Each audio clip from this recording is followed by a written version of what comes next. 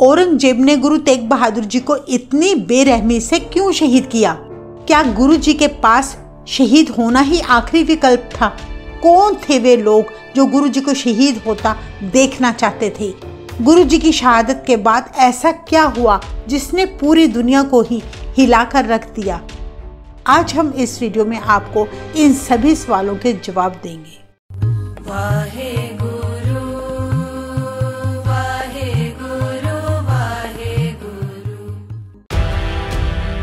जब बादशाह औरंगज़ेब दिल्ली का राजा बना तो 1661 में उसने यह ऐलान जारी कर दिया कि पूरे हिंदुस्तान में जितने भी मंदिर हैं, उन पर ताले लगा दिए जाएँ।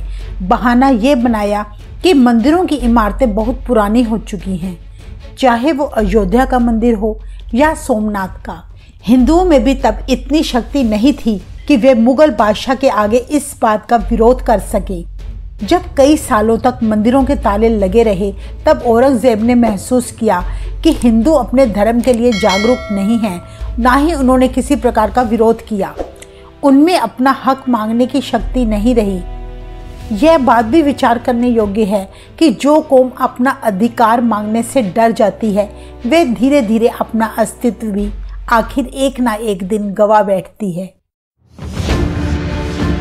अगर हम सिख धर्म की ओर देखें तो बहुत कम समय में सिख धर्म का विस्तार बड़ी तेज़ी के साथ हुआ है, जिसका कारण गुरुओं की शहादतें हैं, सिखों की शहादतें हैं।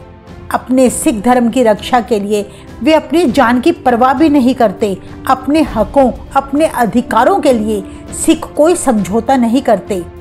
सिख कौम में गुरुओं ने ऐसा जज्बा भरा है कि ये कौम शहादतें देकर पूरी दुनिया में फैल गई। अब हम बात करते हैं औरंगज़ेब की। औरंगज़ेब ने 1674 में हिंदुओं के मंदिर तोड़कर मस्जिदें बनवाने का आदेश जारी किया। कहा जाता है कि बड़े कम समय में मस्जिदें बनवाने के बाद उसने हुक्म दिया कि हिंदुओं को पैसों का लालच देकर मुसलमान बना दिया जाए। अगर वो यह स्वीकार ना करे तो ज़बरदस्ती उन्हें ऐसा करने पर मजबूर किया जाए। इस तरह ज़ोर जबर से हिंदुओं को मुस्लिम बनाया जाने लगा। बादशाह औरंगज़ेब बड़ा स्वार्थी और जालिम था। असल में वो सारे हिंदुओं को मुसलमान बनाना चाहता था। जो हिंदू बादशाह से नहीं डरता था और मुसलमान बनना नहीं चाहता था, वो उसका कत्ल करवा दिया करता।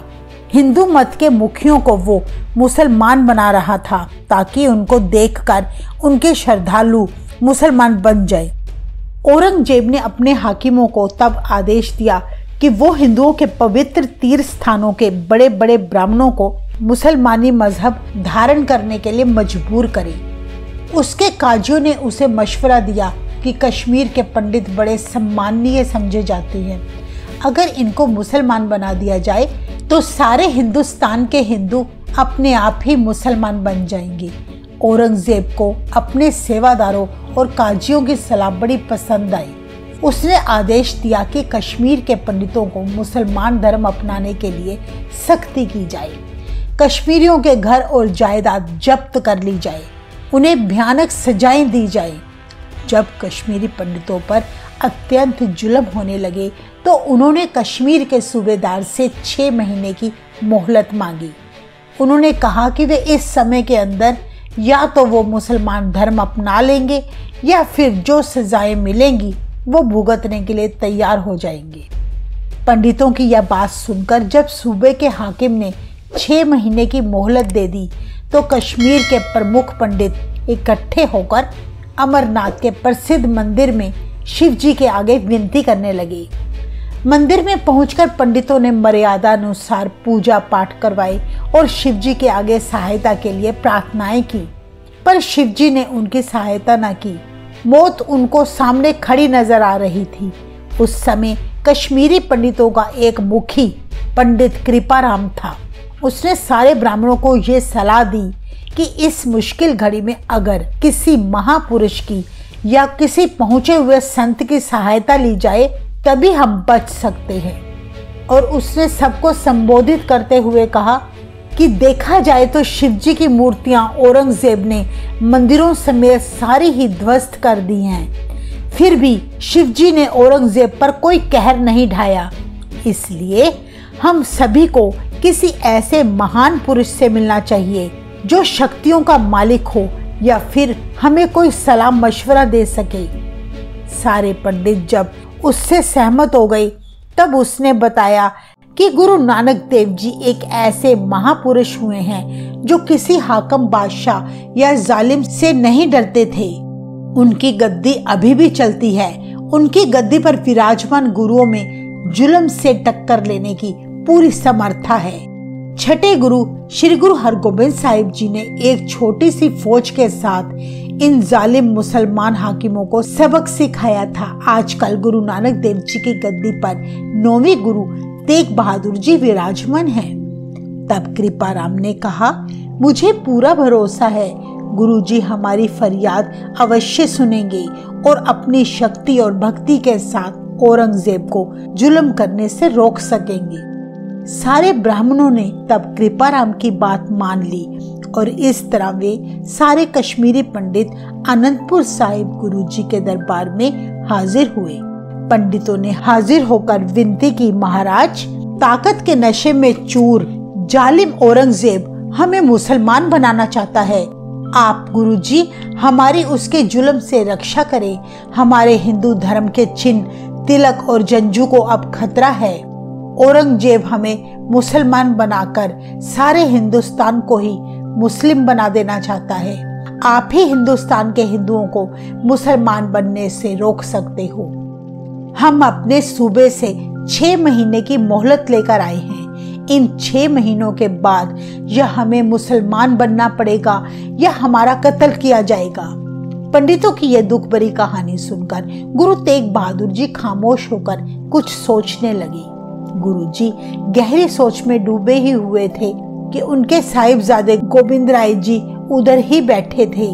अपने पिता को गहरी सोच में देखकर कहने लगे, पिताजी, आप क्या सोच रहे हैं? और ये लोग कौन हैं? गुरुजी बोले, बेटा, ये कश्मीर के दुखी पंडित हैं। औरंगज़ेब एक बड़ा जालिम बादशाह है, जो इनको ज़बरदस्ती मुसलमान बना देना चाहता है। इनकी रक्षा के लिए किसी महापुरुष की कुर्बानी की ज़रूरत है। अगर ये लोग मुस्लिम धर्म नहीं अपनाएँगे तो इनका कत्ल कर दिया जाएगा। अपने पिता के मुख से ये बात सुनकर साहिबजादे ने कहा, पिताजी, आपके मुकाबले और कौन बड़ा महापुरुष है जो इनकी रक्षा कर सके? आप जी किसी भी तरह इनकी सहायता करें। अपने दिलेर पुत्र की ये बातें सुनकर गुरुजी ने पंडितों को कहा, जाकर अपने सूबे के हाकिमों से कह दो, अगर औरंगज़ेब अनंतपुर वासी हमारे गुरु तेग बहादुर जी को मुसलमान बना देगा तो वो भी मुसलमान बन जाएँगे। गुरु तेग बहादुर जी के वचन सुनकर पंडित खुशी खुशी अपने घरों को लौट गए।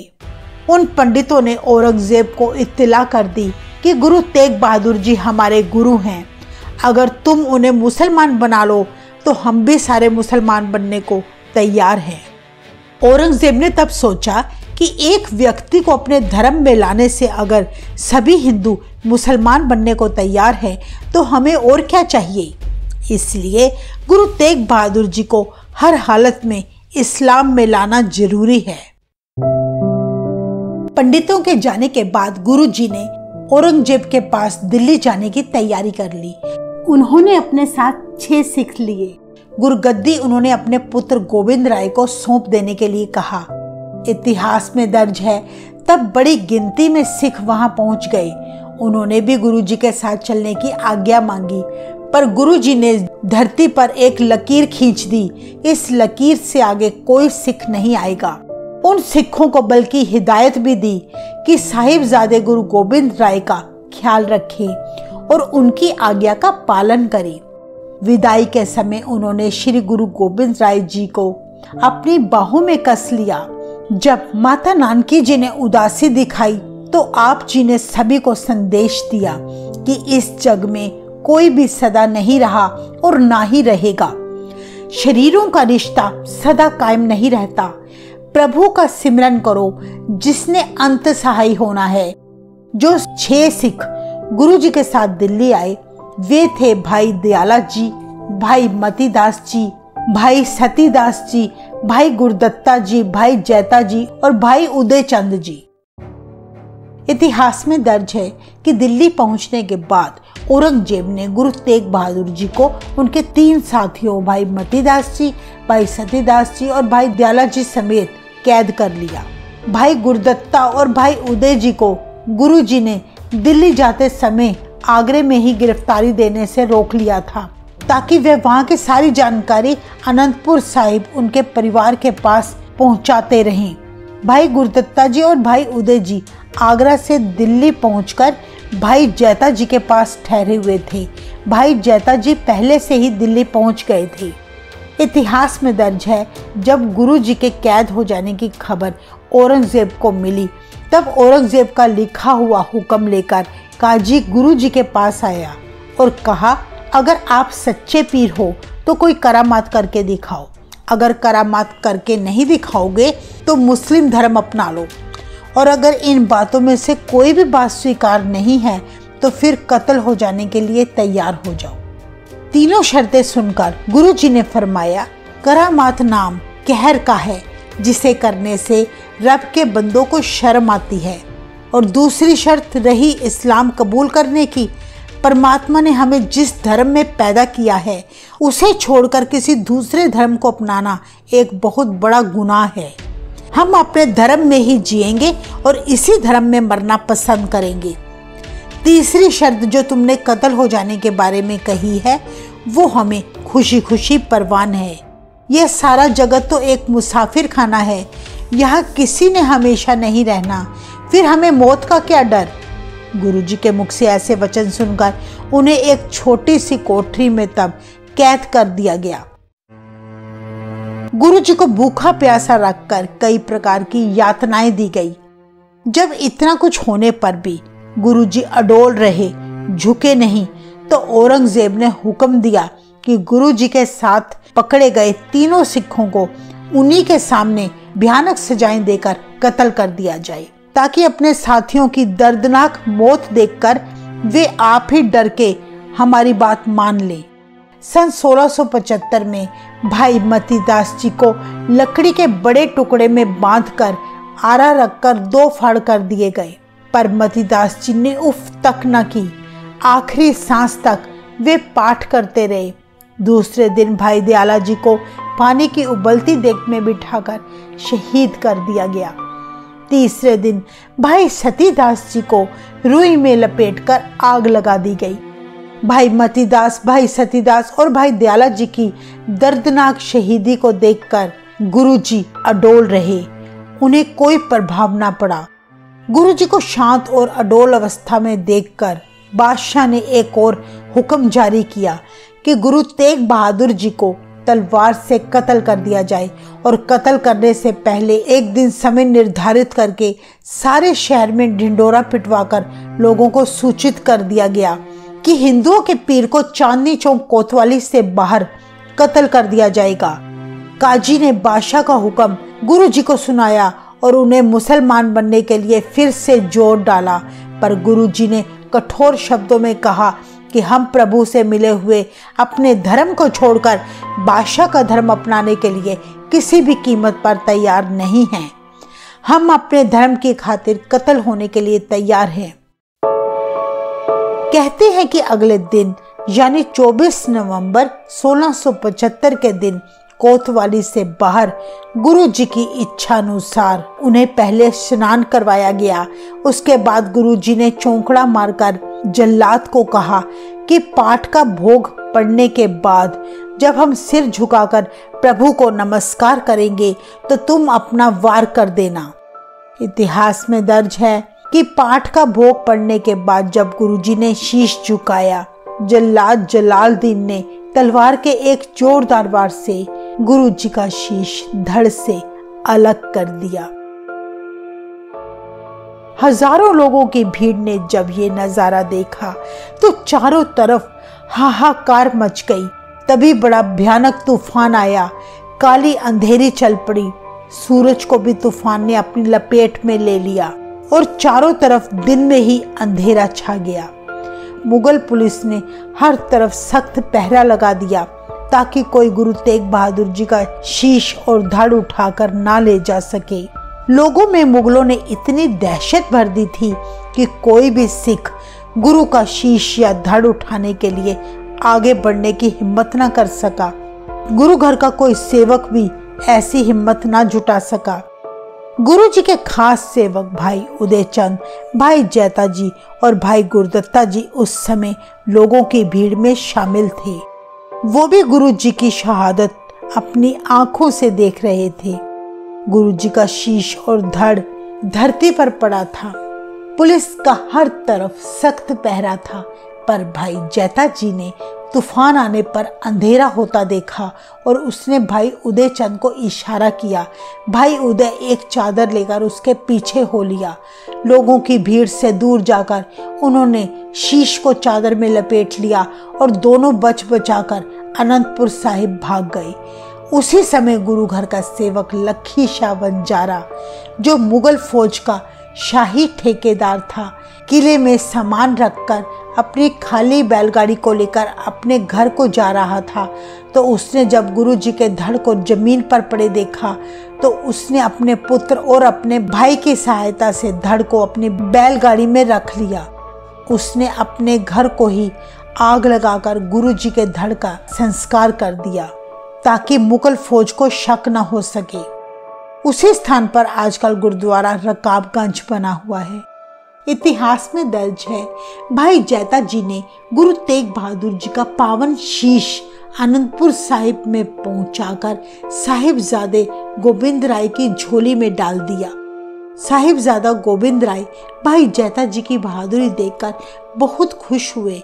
उन्होंने भाई जैते को वर दिया। रंग रेटा गुरु का बेटा। फिर उन्होंने मर्यादा अनुसार चंदन की चिता तैयार की और बड़े सत्कार सहित गुरु तेग बहादुर जी के पावन शीश का संस्कार कर दिया। जिस स्थान पर पवित्र शीश का संस्कार किया गया, वह स्थान आनंदपुर साहिब में गुरुद्वारा शीशगंज के नाम से प्रसिद्ध है और जहाँ गुरु तेग बहादुर जी की शहादत हुई वे स्थान भी दिल्ली में गुरुद्वारा शीशगंज के नाम से प्रसिद्ध है। वाहेगुरु कृपा करे और हम सभी जातिवाद ऊंच नीच के विकारों से ऊपर उठकर गुरु जी की कुर्बानियों को याद करें, एक निरंकार की भक्ति से जुड़े। यही अपने गुरु के प्रति एक सच्ची श्रद्धांजलि है। वाहे गुरु जी का खालसा वाहे गुरु जी की फतेह।